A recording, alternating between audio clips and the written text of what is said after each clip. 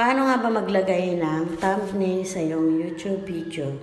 So, una, gagawa ka na ng thumbnail mo.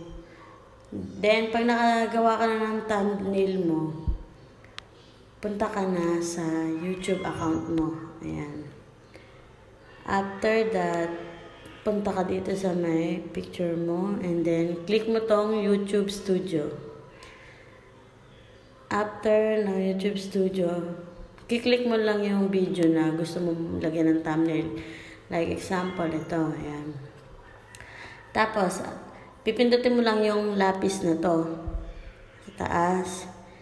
And then, click mo to edit thumbnail. Ayan. Then, custom thumbnail.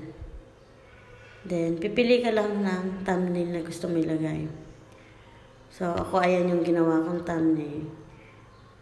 Make sure yung picture nyo is nakasukat na na pang YouTube para sakto na siya, hindi mo na siya ikakrap. Then, select mo na siya. Then, save. Hintayin mo lang siya ma-save. Ayan, na-save na.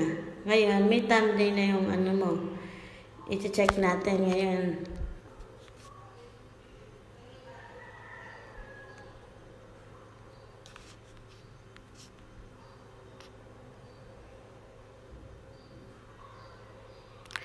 So, ayan. Lumitaw na yung thumbnail. Nakalagay, nakalagay na yung thumbnail niya.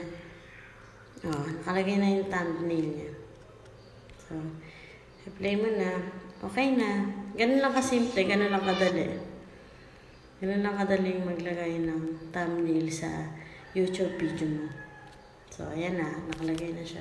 So, yun lang. Kung di pa kayo nakakapag subscribe sa channel ko, subscribe lang kayo for more videos. And click na rin yung notification bell. Salamat! Tell me pretty lies, look me in the face. Tell me that you love me,